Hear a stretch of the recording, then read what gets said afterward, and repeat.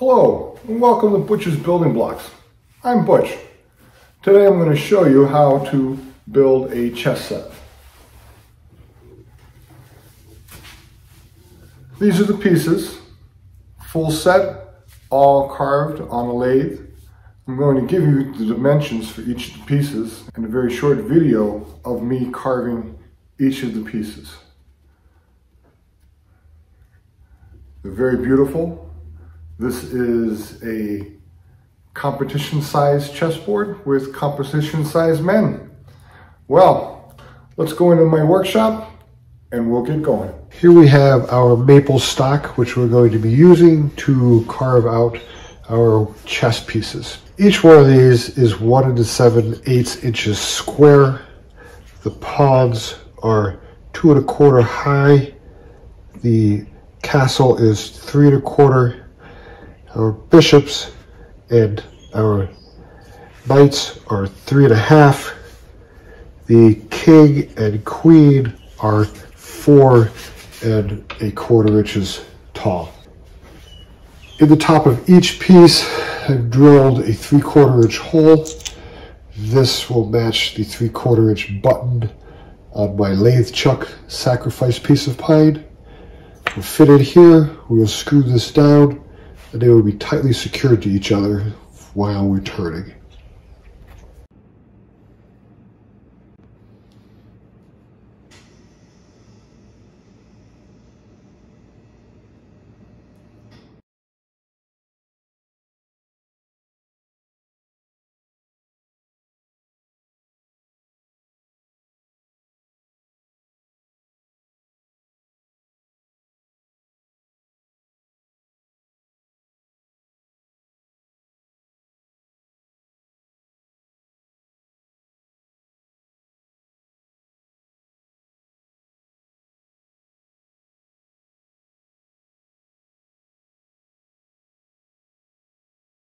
Here's our cherry pawn for the chess set. And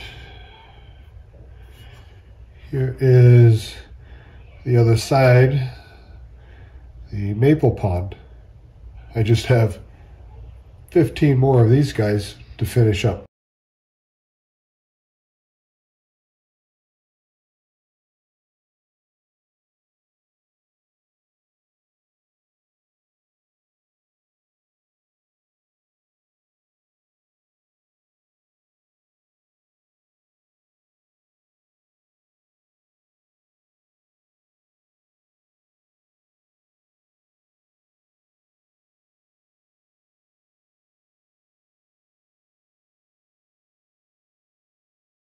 Here are our two rooks. You just got done seeing me carve one of them. They're ready for our chessboard.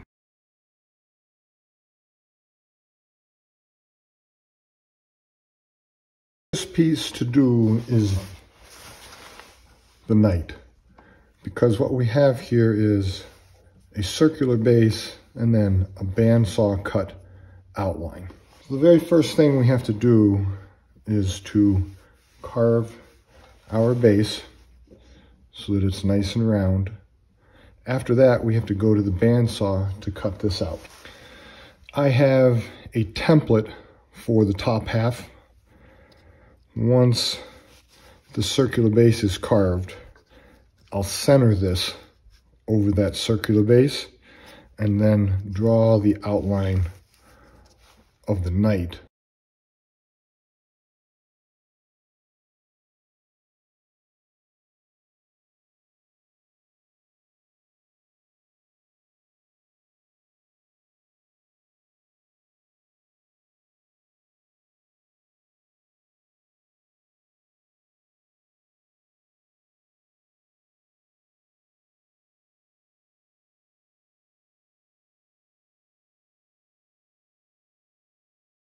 Now that we've got our pattern drawn, it's time to cut it out on the bandsaw.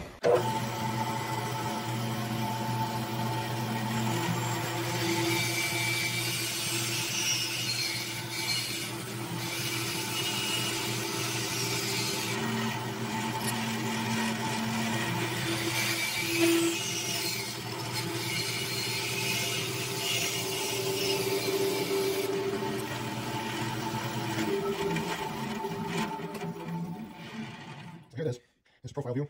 That's what the back looks like. We'll take it over to the belt sander and make these curves look a little better. So here it is. Here's the profile view. That's what the back looks like. We'll take it over to the belt sander and make these curves look a little better.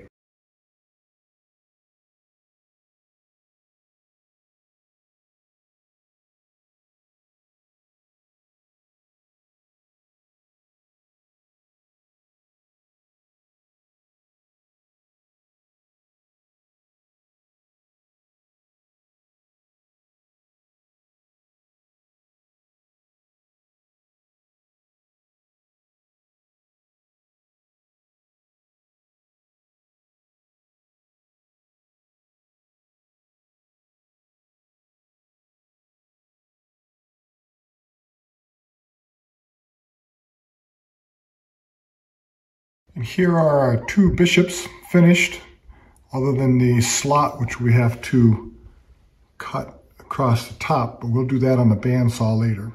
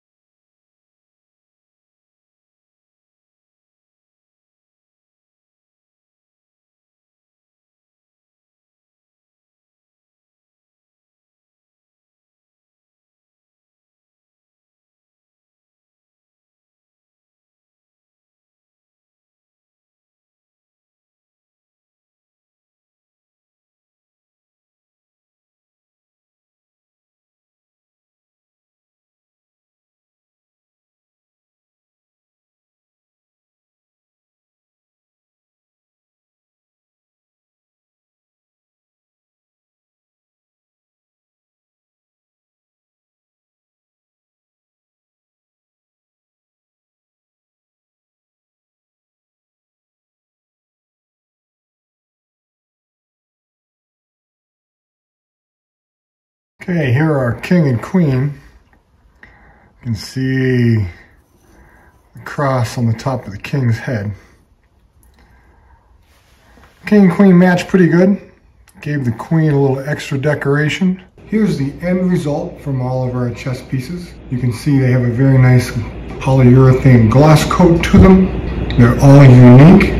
If you're interested in a set or a complete set with board, please go to my website, butchersbuildingblocks.com, and I'll get you some.